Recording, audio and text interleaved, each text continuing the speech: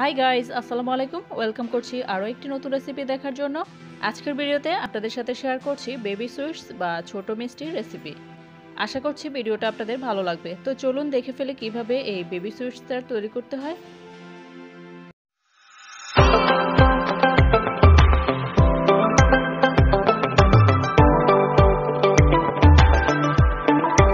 আজকের এই baby sweets বা ছোট মিষ্টিটা তৈরি করার জন্য প্রথমে আমি একটা মিক্সিং বলে নিয়ে নিচ্ছি হাফ কাপ পরিমাণ গুঁড়ো দুধ বা পাউডার দুধ। এখন এর মধ্যে দিয়ে দিচ্ছি দুই টেবিল চামচ পরিমাণ ময়দা। এ পর্যায়ে ময়দার পরিবর্তে কিন্তু আটা ইউজ করা যাবে না। দিয়ে দিচ্ছি হাফ টিস্পুন পরিমাণ বেকিং সোডা এ পর্যায়ে বেকিং সোডাটাই ইউজ করতে হবে। বেকিং পাউডার ইউজ করলে কিন্তু মিষ্টি রেজাল্টটা ভালো আসবে না। আর দিয়ে দিচ্ছি এক টেবিল চামচ পরিমাণ ঘি।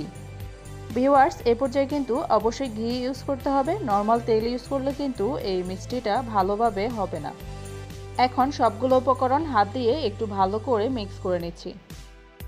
বেশ কিছুক্ষণ মিশিয়ে নেওয়ার পর এই উপকরণগুলো যখন এরকম মুঠি বাঁধলে জড়ো বেঁধে যাবে, তখনই বুঝতে হবে এর টেক্সচারটা ঠিক আছে। এবার এর শুকনো উপকরণগুলোর মধ্যে লিকুইড দুধ মিক্স করে আমি একটা ডো তৈরি করে নিব। আর এই দুধটা আমি আগে থেকে ঝাল করে ঠান্ডা করে রেখেছিলাম। অল্প অল্প করে লিকুইড দুধ ইউজ করে আমি একটা ডো তৈরি করে নিচ্ছি। দেখুন ভিউয়ার্স বেশ কিছুক্ষণ মধ্যে আমি এটাকে একটা সফট ডো তৈরি করে নিয়েছি। এবার এই ডোটাকে আমি রেস্টে রেখে দিব। এই জন্য এর উপরে কিছুটা পরিমাণ ঘি দিয়ে দিচ্ছি। এতে করে উপরের অংশটা ড্রাই হয়ে যাবে না। উপর দিয়ে কিছুটা পরিমাণ ঘি দিয়ে আমি এই ডোটাকে ঢাকনা দিয়ে ঢেকে দিচ্ছি আর 30 মিনিটের জন্য রেস্টে রেখে দিচ্ছি। এই ফাঁকে আমি শিরাটা তৈরি করে নিব, এজন্য একটা প্যানে দিয়ে দিচ্ছি এক কাপ পরিমাণ চিনি। এখন এর মধ্যে দিয়ে দিচ্ছি দেড় কাপ পরিমাণ পানি। এবার চুলার আঁচটাকে মিডিয়ামে রেখে এভাবে অনবরত নেড়ে চেড়ে আমি একটা শিরা তৈরি করে নিব। এই পর্যায়ে দুটো এলাচ দিয়ে দিচ্ছি। আর এই এলাচের মুখটা একটু ছিলে দিয়েছি, এতে করে এই এলাচের ফ্লেভারটা খুব ভালো ছড়াবে। প্রায় পাঁচ মিনিট জাল করে নেওয়ার পর এটা একটা ঘন শিরায় পরিণত হয়েছে আর এ পর্যায়ে আমি এই শিরাটা চুলা থেকে নামিয়ে ঢাকনা দিয়ে ঢেকে রাখছি। প্রায় আধা ঘণ্টা পর আমি এই ডোটাকে কিছুক্ষণ মথে নিব। এই পর্যায়ে ডোটাকে খুব ভালো করে মথে নিতে হবে আর এই মথে নেওয়ার উপরেই নির্ভর করবে আপনার মিষ্টিটা কতটা পারফেক্ট হবে।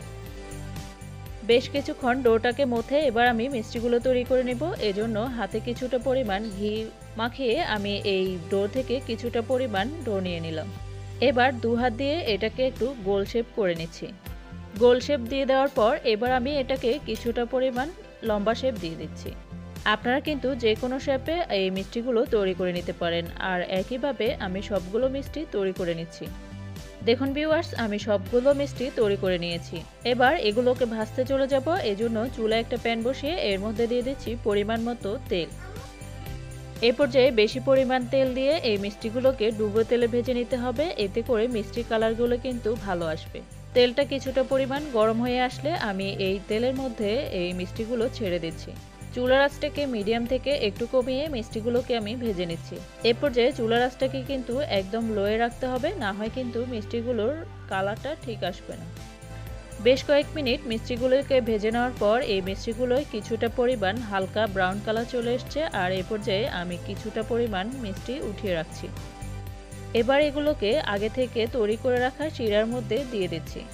আরও কিছুক্ষণ মিষ্টিগুলোকে ভেজে নেওয়ার পর দেখুন ভিউয়ার্স মিষ্টির কালারগুলো এরকম এসেছে আর অন্য মিষ্টিগুলোকে আমি একদম কালো করে ভেজে নিচ্ছি। দেখুন ভিউয়ার্স বাকি মিষ্টিগুলোকে আমি একদম ডিপ কালো করে ভেজে নিয়েছি আর এই শিরায় ছেড়ে দিচ্ছি। এবার শিরার সাথে এই মিষ্টিগুলোকে খুব ভালো করে মিশিয়ে নিচ্ছি। এ পর্যায়ে মিষ্টিগুলোকে আমি ঢাকনা দিয়ে ঢেকে এক ঘণ্টার জন্য রেস্টে রেখে দিচ্ছি। আর এই এক ঘণ্টার মধ্যেই এই মিষ্টিগুলো শিরাটা সোপ করে নেবে। এক ঘণ্টা মিষ্টিগুলোকে রেস্টে রেখে দেওয়ার পর এবার আমি পরিবেশন করে দেখিয়ে দিচ্ছি এই মিষ্টিটা দেখতে কতটা চমৎকার হয়েছে। এই এক ঘন্টায় শিরাটা কিন্তু অর্ধেক পরিমাণ এই মিষ্টিগুলো টেনে নিয়েছে। এরপর একটা মিষ্টি আপনাদের শিরা থেকে উঠিয়ে কেটে দেখিয়ে দিচ্ছি, এর ভিতরটা কতটা পারফেক্ট হয়েছে। দেখুন ভিউয়ার্স এই মিষ্টির ভিতরটা কতটা পারফেক্ট হয়েছে। আর এই মিষ্টির ভেতরটা কতটা রসে টইটুম্বুর হয়ে আছে। তো ভিউয়ার্স রেসিপিটা ফলো করে বাসায় এভাবে ট্রাই করে দেখবেন, আর কেমন হয়েছে তা আমাকে কমেন্ট করে জানাবেন। আশা করছি ভিডিওটা আপনাদের ভালো লেগেছে। ভালো লাগলে ভিডিওটা লাইক কমেন্ট শেয়ার করবেন। আর আমার এরকম আরও নতুন নতুন রেসিপি পেতে চ্যানেলটাকে সাবস্ক্রাইব করে পাশে থাকা বেলাইকনে ক্লিক করে দিবেন। আজ এ পর্যন্তই হাজির হয়ে যাব আরও কোনো নতুন রেসিপি নিয়ে। ততদিন ভালো থাকবেন, সুস্থ থাকবেন। আল্লাহ হাফেজ।